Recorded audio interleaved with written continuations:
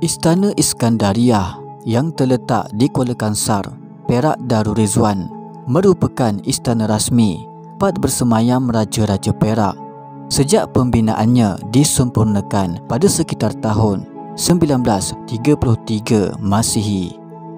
Di sebalik keindahan singgah sana yang gah berdiri hampir satu abad ini, ia menyimpan seribu satu kisah dan sejarahnya yang tersendiri yang pernah terjadi di istana ini.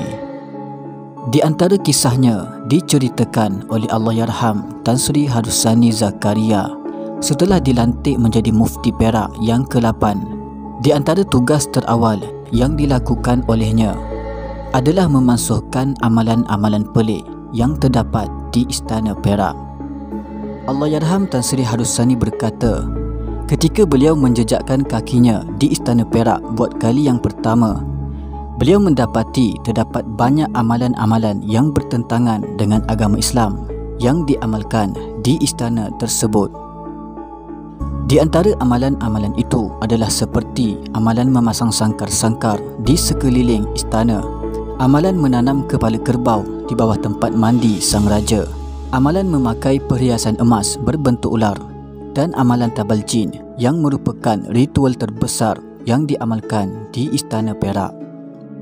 Menurut Allah Yarham Tan Sri Harusani Zakaria, amalan tabal jin ini adalah menabal jin pada sebelah malam selepas pada siangnya dilakukan istiadat pertabalan Sultan Perak ia dilakukan dengan cara semua hadirin yang hadir berpakaian hitam akan masuk ke dalam dewan yang gelap yang hanya berlampukan cahaya lilin sebelum hadir seorang pawang yang akan memulakan istiadat menabal jin. Di dalam usaha untuk menghapuskan amalan-amalan itu, Allah Yarham Tan Sri Harusani berkata bahawa beliau pernah diganggu oleh bangsa jin. Menurut ceritanya, pada suatu malam, Beliau pernah mencabar jin dengan duduk di atas sebuah kerusi yang didakwa oleh petugas-petugas istana bahawa kerusi tersebut merupakan tempat duduk jin di istana itu. Allah Yadham Tan Sri Harusani berkata, tiada apa-apa berlaku ke atas dirinya ketika beliau duduk di atas kerusi tersebut.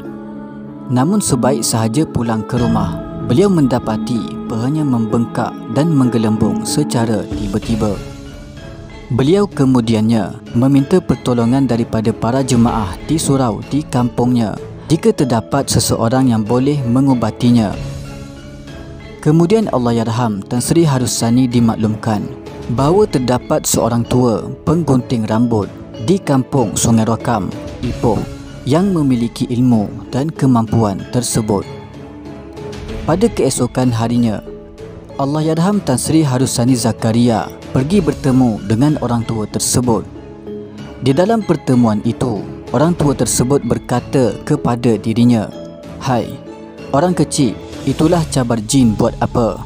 Sebelum orang tua itu meniup di telinganya, lalu dengan izin Allah Subhanahu Wa Taala, bengkak yang menggelembung di pahanya itu kembali sembuh serta merta.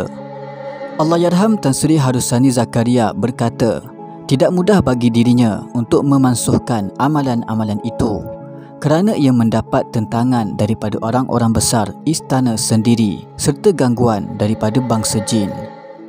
Namun oleh kerana beliau sendiri yang datang menghadap sang raja serta menjelaskan kepada baginda mengenai hukum hakam amalan tersebut, akhirnya Sultan Perak ketika itu iaitu almarhum Sultan Azlan Muhibbuddin Shah berkenan untuk meninggalkan amalan-amalan itu.